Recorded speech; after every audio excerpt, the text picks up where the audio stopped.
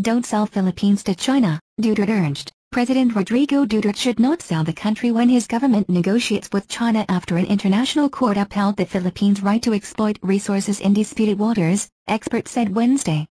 The diplomatic wrangling that would follow the landmark ruling of the Hague-based court would be like a high-stakes game of poker, with Duterte holding the winning hand, former Senator and Foreign Relations Committee Chairman Leticia Ramos Shahani said. The decision of the arbitration court is the ace in his hand, Shahani told the media roundtable. Shahani said Duterte should be surrounded by the right advisors. She also suggested appointing an ambassador to Beijing who speaks perfect Chinese. You might be selling your country down the river and you won't know that you're doing it, she said. Beijing might offer additional investments to Manila during the negotiations, De La Salle University political science professor Richard Javad Heydarian said during the same forum. China will offer him a lot of carrots. He should stick to the game plan.